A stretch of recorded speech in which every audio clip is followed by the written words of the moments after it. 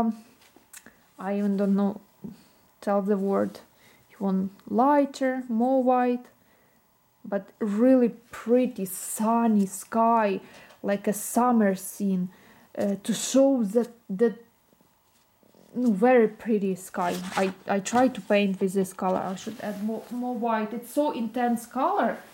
Uh, the pigment is so intense that you needed just a tiny bit little tiny bit of that blue to show. Uh, also when you paint flowers some flowers it's hard to copy its true color. Uh, some um, like a wi wildflower the very nice blue color. That's what that's color primary cyan you need to mix the the, the petals of the of those flowers. See you need more white because it's so intense color. Oh here we go. That's what I would use to use a pretty blue sky.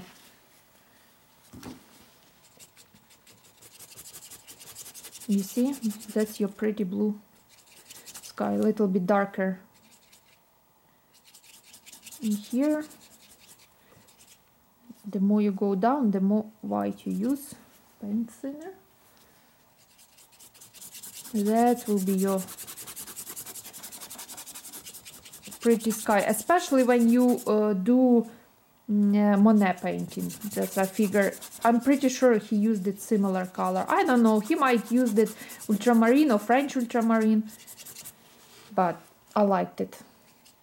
I liked it a lot to use this color. I used it uh, in impasto style mixing with my uh, first titanium white.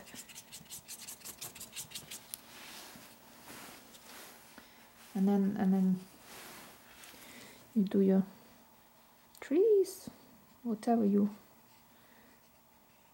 plan it to paint.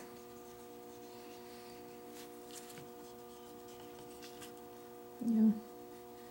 Um, these clouds. Really really pretty for painting sky. That's what I wanted to show you. My favorite the most favorite um, blue I quite don't like my my cloud but anyway you understand me what I mean.